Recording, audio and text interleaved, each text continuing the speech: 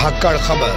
बेखौफ सुमा बेबाक अंदाज धाकड़ खबर के न्यूज़ से मैं आपके साथ हूँ, अकरम रईस खान। एक जमाना था कि लोग कहते थे, एक जमाना था कि समाज कहता था, एक जमाना था कि दुनिया कहती थी कि फला शख्स बहुत ही ईमानदार है और उसकी ईमानदारी की कस्में खाई जा सकती हैं। वो शख्स कभी भी अपने बारे में नहीं कहता था कि मैं ईमानदार हूँ, मेरी ईमानदारी की कोई कसम खा ले, क्योंकि उसका व्यक्तित्व, उसकी शख्सियत ही, उसकी ईमानदारी का प्रमाण सबूत हुआ करती थी। लेकिन आज जिन लोगों की शख्सियत पर, जिन लोगों के व्यक्तित्व पर सबसे ज़्यादा सवाल खड़े हो रहे हैं, वही चिल्ला चिल्ला के कह रहे हैं कि, साहब, हमें ईमानदार मान लीजिए। दुनिया भले ही उनको ईमानदार मानने को तैयार ना हो, दुनिया सीधे तौर पर कह रही हो कि ये दलाल, चाटुकार, दंगाई पत्रकार हैं, जो अब ईमानदार भी बन चुके हैं। आप समझ गए होंगे, मैं किसी एक पत्रकार का ज़िक्र करने जा रहा हूँ। इंटरव्यू किया है उस पत्रकार ने, उत्तर प्रदेश के मुख्यमंत्री आदित्यनाथ योगी का। रात दिन जो मंचों पे बोल रहे हैं, उनका भी इंटरव्यू करने की ज़रूरत पेश आ रही है, जिनका चौबीस चौबीस घंटे ये अपने टीवी पर ब्रॉडकास्ट करते रहते हैं लाइव प्रोग्राम मंच का,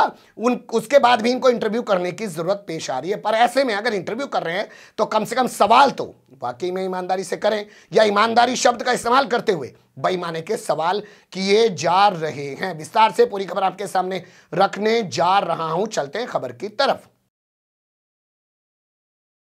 मुझे लगता है खबरों की शुरुआत करें, उससे पहले एक चीज़ आपके जहन में, आपके सामने रख देना चाहता हूँ। टीवी चैनल अपने घर के अंदर ऑन कीजिएगा ऑन करने के बाद आपके टीवी स्क्रीन पर जितने भी तमाम विज्ञापन आएँगे एडवर्टीजमेंट आएँगे, उसमें आप देखेंगे कि हर कोई अपनी कंपनी को ईमानदार बता रहा होगा। हर कोई अपने प्रोडक्ट को ईमानदार बता रहा होगा। यह अलग बात है कि जो उनका उपभोग करने वाले उपभोक्ता हैं खरीदने के बाद जो अपने घर में ले आके इस्तेमाल करते हैं, वो बता सकते हैं कि इनके जो दावे हैं, ईमानदारी को लेकर कंपनी के बारे में प्रोडक्ट के बारे में, वो कितने ईमानदार हैं। लेकिन फिर भी बेशर्मी के साथ वो लोग रात दिन विज्ञापन के ज़रिए अपनी ईमानदारी के दावे करते रहते हैं। ठीक, उसी तरीके का चरित्र आज जो है, राजनीति में नेताओं का बन गया है, जो संवैधानिक सीट पर बैठे हुए हैं, मंत्री पदों पर बैठे हुए उनका बन गया पुलिस का बन गया है और पत्रकारों का बन गया है।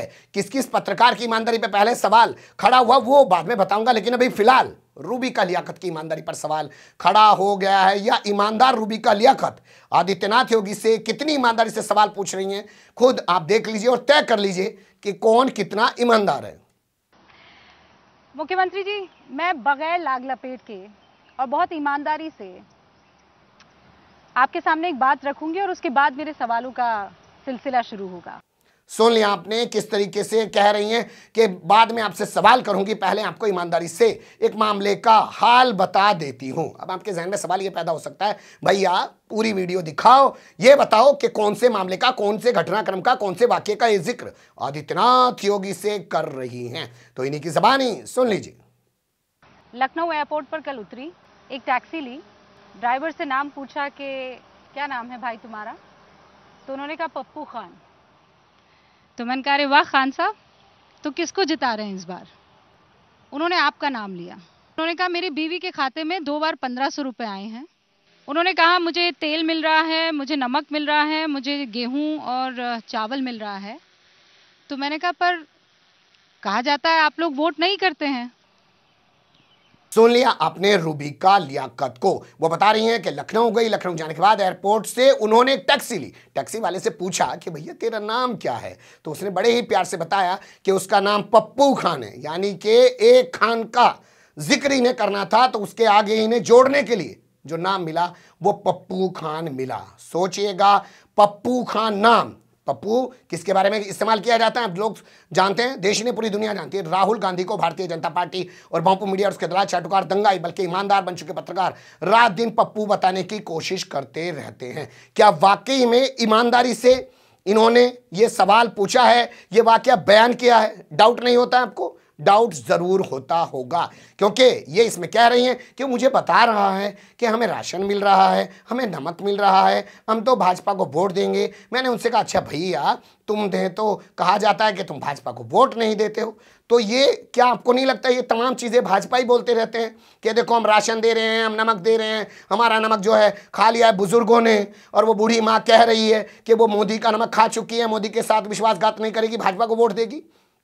क्या ठीक उसी तरीके से अपने दिमाग के ज़रिए या अपनी बातों के ज़रिए एक माहौल क्रिएट किया गया? या पल पल ट्विटर पर अपडेट करने वाली रूबिका लियाकत को अब तमाम चीज़ें समाज के सामने नहीं रखनी चाहिए, बताना नहीं चाहिए कि हाँ ये ड्राइवर था और इस ड्राइवर के साथ मैंने सफ़र किया और इस ड्राइवर का नाम सच में पप्पू खान है। और क्या अब उस पप्पू खान नाम के ड्राइवर को खुद सामने नहीं आ जाना चाहिए? और बता देना चाहिए कि हाँ वो रूबी कलियाकत को लेकर गया कि नहीं गया? और उसने ही रूबी कलियाकत को बताया था कि वो भाजपा को वोट देगा। बहुत सारे सवाल आपके जहन में पैदा हो रहे होंगे। एक सवाल आपके जहन में ये भी आना चाहिए क्योंकि कुछ लोग अगर नहीं जानते हैं तो विस्तार से उनको बता देते हैं। एयरपोर्ट के बाहर से जो टैक्सियाँ मिलती हैं, वो आम टैक्सियाँ नहीं होती हैं। एयरपोर्ट की जो टैक्सियाँ ड्राइवर चलाते हैं, वो आम ड्राइवर नहीं होते हैं। उनकी तनख्वाह भी ज़्यादा होती है और जो यहाँ चलने वाली टैक्सियाँ होती हैं, उनका भाड़ा भी ज़्यादा होता है। यानी यहाँ काम करने वाला ड्राइवर अपने परिवार को अपने दम पे पाल सकता है, उसे किसी के राशन की ज़रूरत नहीं है। लेकिन फिर भी ये क्या चित्रण कर रही हैं? उत्तर प्रदेश के बारे में क्या बता रही हैं कि वहाँ हर कोई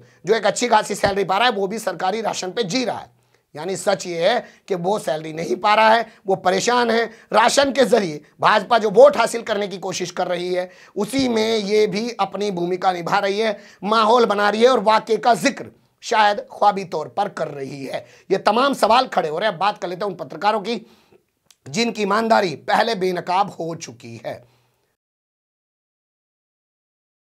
मुझे लगता है उन पत्रकारों की ईमानदारी बेनकाब करने का सबसे बड़ा क्रेडिट अगर जाता है मंच के ज़रिए वो जाता है उत्तर प्रदेश के पूर्व मुख्यमंत्री अखिलेश यादव को। समाजवादी पार्टी के मुखिया हैं। वर्तमान समय में उन्होंने चुनाव लड़ा है मैनपुरी की करहल विधानसभा सीट से। पाँच चरणों का मतदान हो चुका है। दो चरणों का मतदान बाकी है। दस तारीख को नतीजे आने वाले हैं और जो हवा चल रही है, वो शायद उन्हीं के पक्ष में बहती हुई दिखाई दे रही है। ऐसा लोगों का कहना है। लेकिन उन्होंने किस तरीके से मीडिया की ईमानदारी को बेनकाब किया था, वो देख लीजिए अंजना ओम कश्यप के इस वीडियो में। ईमानदार पत्रकारों की सूची बनाई है लिस्ट। नाम आपका भी है उसमें। है। सच बता रहा हूँ मैं। ईमानदारी गलत शब्द नहीं नहीं आप जिस ध्येय से बोल रहे हैं ना आप जिस ध्येय से बोल रहे हैं अखिलेश जी देखिए आप फिर वही खेल कर रहे हैं। आप अच्छा, फिर वही खेल करने मैं आज के बाद कर रहे हैं। ईमानदारी नहीं बोलूँगा। आप जानते ही हैं अंजना ओम कश्यप जो है आज तक की एंकर हैं। उनके बारे में जो है दुनिया जानती है। कि कितनी वो ईमानदार हैं। अब उनकी ईमानदारी पे अखिलेश यादव ने सवाल उठाया तो वो तिलमिला भी गई गुस्से में भी आ गई। कैसे गुस्से में आ गई वो भी देख लीजिए। ये कटाक्ष करने की क्या ज़रूरत है? कटाक्ष नहीं आपको इस मंच से बार बार एक शब्द के ज़रिए आप क्या कहने की कोशिश नहीं, नहीं। कर रहे हैं? आप एक सम्मानित नेता हैं मुझे ये समझ नहीं आ रहा कि आपको ये स्टांस लेने की क्यों ज़रूरत अगर तारीफ़ भी बुराई लगने लगे तो नहीं, मैं क्या करूँ आप उसको कटाक्ष की तरह कर रहे हैं और आपको लग रहा है कि यहाँ पर दस ताली बजवाकर ये सही साबित कर देंगे तो मैं आपको बड़े सम्मानजनक तरीके से एक दरख्वास्त करना चाहती हूँ। मैं आपसे सवाल पूछ रही हूँ मेरे सवालों का जवाब दीजिए। बार बार एक शब्द की आड़ में किसी पर प्रहार करने की कोशिश मत कीजिए। नहीं अखिलेश यादव जी आप भी जानते हैं आप क्या अगर- कर रहे हैं? नहीं ये और लोग होंगे जो इसको बर्दाश्त कर लेंगे ये और लोग होंगे जो सवाल नहीं दूसरों से पूछते होंगे तो इसको स्वीकार लेंगे। लेकिन मैं इसको स्वीकारने को तैयार नहीं हूँ। मैंने बड़े संयम के साथ आपकी बात को बार बार सुना, लेकिन अब मुझे लगता है मुझे इंटरवीन करना होगा। आप समाजवादी पार्टी के बड़े नेता हो सकते हैं। ऐसा नहीं है कि अखिलेश यादव ने सिर्फ़ अंजना कश्यप को बेनकाब किया। अखिलेश यादव ने इससे पहले न्यूज़ एटीन इंडिया का, जो शाम को आता है, हर एक ने अपना एक स्टाइल पैदा कर रखा है। जैसे आप देखेंगे अर्णब गोस्वामी को वो सीट पे बैठ के कूदता है। जैसे आप देखेंगे, सुधीर चौधरी को वो आएगा काला कोट पहन के टाई लगा के ऐसे खड़ा हो जाएगा बाबा की तरह। इसके अलावा ये अमीश देवगन आएगा, एक अलग नोटंकी लेके ऐसे हाथ फेंक फेंक के खड़ा होके बात करेगा। तो सबने अपना एक स्टाइल बना रखा है, जैसे फ़िल्मों में कैरेक्टर नहीं होते, राजपाल यादव है, हाथ फेंक फेंक के बात करता है, ठीक उसी तरीके से ये भी एक कैरेक्टर है। और इसकी ईमानदारी पे जब सवाल उठाया अखिलेश यादव ने तो ये भी समझ गया कि ज़्यादा मैं कुछ बोलूँगा तो फंस जाऊँगा। इसने मुस्कुरा के अपनी जान बचाना ही बेहतर समझा, लेकिन वो सीन आप ज़रूर देखिए। ये अब बिजली आती है। कहते आपके दौर में बिजली नहीं आती थी। इसीलिए मैंने कहा सबसे ईमानदार कट लंबे लगते थे। सबसे ईमानदार सच्चे पत्रकार आप हैं निष्पक्ष पत्रकार हैं। जी। और कम से कम आपको तमाम वो आकलन करना चाहिए कि बिजली के कारखाने किसने बनाए। मैं नाम देख लिया आपने किस तरीके से अमीश देवगन की ईमानदारी पर भी अखिलेश यादव ने सवाल उठाए। अब यहाँ खुद ही रूबिका लियाकत जो बड़ी ईमानदार पत्रकार दिखने बनने की कोशिश कर रही हैं, अपनी ईमानदारी के मामले में खुद ही बेनकाब हो जा रही हैं। बने रहिएगा धाकड़ खबर के साथ, फ़िलहाल कमेंट्स के रूप में आप लोग अपनी राय दे सकते हैं। खबर को लाइक कर सकते हैं, चैनल को सब्सक्राइब कर सकते हैं और ज़्यादा से ज़्यादा हमारी खबरों को शेयर कर सकते हैं। फिर ऐसे ही किसी सुलगते हुए या उलझते मुद्दे लेकर मैं आपके सामने हूँगा हाजिर। फ़िलहाल अभी मुझे दें इजाज़त।